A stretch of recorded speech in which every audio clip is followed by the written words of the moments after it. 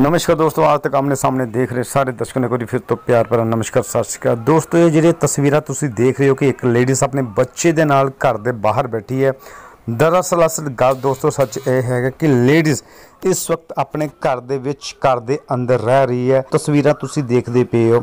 ਬਾਹਰ ਦੀਆਂ ਤਸਵੀਰਾਂ ਦਿਖਾਈਆਂ ਜਾ ਰਹੀਆਂ, ਆਖਿਰਕਾਰ ਸੱਚ ਨਹੀਂ ਦਿਖਾਇਆ ਜਾ ਰਿਹਾ। ਸੱਚ ਇਹ ਹੈ ਕਿ ਦੋਸਤੋ, ਇਸ ਲੇਡੀਜ਼ ਆਪਣੇ ਘਰ ਦੇ ਅੰਦਰ ਹੀ ਰਹਿ ਰਹੀ ਹੈ।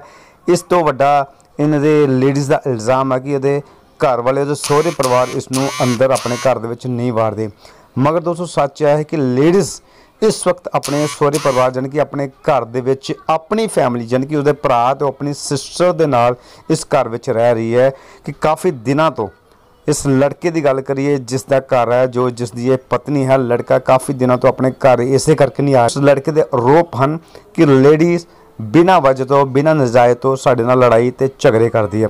ਮਗਰ ਲੇਡੀਜ਼ ਇਸ ਵਕਤ ਆਪਣੇ ਘਰ ਦੇ ਅੰਦਰ, ਆਪਣੇ ਘਰ ਦੇ ਬਿਲਕੁਲ ਅੰਦਰ ਰਹਿ ਰਹੀ ਹੈ। ਬੇਸ਼ੱਕ ਬਾਹਰੋਂ ਇੱਕ ਤਰਫ ਤੋਂ ਤਾਲਾ ਲੱਗਿਆ, ਮਗਰ ਦੂਸਰੇ ਦਰਵਾਜ਼ੇ ਰਾਹੀਂ ਲੇਡੀਜ਼ ਅੰਦਰ ਆਂਦੀ ਹੈ, ਬਾਹਰ ਆਂਦੀ ਜਾਂਦੀ ਹੈ। ਛੋਟਾ ਜਿਹਾ ਕਲੀਨਿਕ ਹੈ ਹਸਬੰਡ ਵਾਈਫ ਕਲੀਨਿਕ ਦੇ ਨਾਲ ਕੰਮ ਕਰਦੇ ਸੀ, ਆਪਣੇ ਘਰ 'ਚ ਰਹਿ ਕੇ।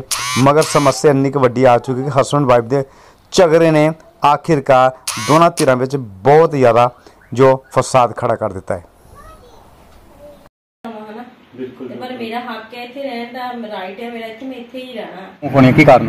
ਐਕਚੁਅਲੀ ਸਰ ਬੜੇ ਸੋਹਣੇ ਅਸੀਂ ਖੁਸ਼ ਸੀਗੇ।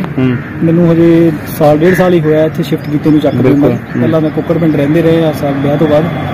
ਤੇ ਇਹਨਾਂ ਦੇ ਜਿਹੜੇ ਅਨੁਸ਼ਾਦ ਰਿਸ਼ਤੇਦਾਰ ਜਦੋਂ ਵਿੱਚ ਇਨਵੋਲਵ ਹੋਏ ਆ ਇਹਦਾ ਨਾਨਕਾ ਪਰਿਵਾਰ ਇਹਦੇ ਮਾਮੇ ਦਾ ਬੇਟਾ ਮਾਮੀਆਂ ਉਹਨਾਂ ਦੇ ਮਗਰ ਲੱਗ ਕੇ ਇਹ ਉਹਨਾਂ ਦੀਆਂ ਗੱਲਾਂ ਦੇ ਵਿੱਚ ਆ ਕੇ ਜ਼ਿਆਦਾਤਰ ਇਹ ਪ੍ਰਾਪਰਟੀ ਦੀ ਮੰਗ ਕਰਦੀ ਆ। ਮੈਨੂੰ ਮੰਗ ਕੀ ਕਰਦੇ ਹੋ ਤੇ ਇਹ ਦੱਸੋ ਕਿ ਜਿਹੜੀ ਪ੍ਰਾਪਰਟੀ ਹੈ ਘਰ ਦੀ ਲੋਨ ਤੇ ਹੈ ਹਾਂਜੀ ਸਰ ਲੋਨ ਤੇ ਆ 10 ਲੱਖ ਦਾ ਮੈਂ ਲੋਨ ਲਿਆ ਸੀਗਾ। ਹੂੰ ਹੂੰ।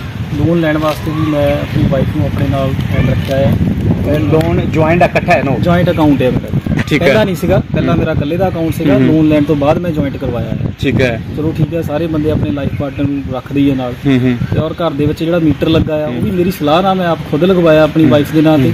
ਇਹਨਾਂ ਹੀ ਦੋ ਗੱਲਾਂ ਨੂੰ ਮੁੱਖ ਰੱਖ ਕੇ ਇਹ ਮੈਨੂੰ ਇਹੀ ਟੌਰਚਰ ਕਰਦੇ ਆ ਦਿਮਾਗੀ ਤੌਰ ਤੇ ਪਰੇਸ਼ਾਨ ਕਰਦੇ ਆ ਵੀ ਤੇਰੀ ਪ੍ਰਾਪਰਟੀ ਅਸੀਂ ਇਹ ਹੁਣ ਖੋ ਕੇ ਹੀ ਛੱਡਣੀ ਆ। ਮੀਟਰ ਸਾਡੇ ਨਾਂ ਤੇ ਲੱਗਾ ਆ।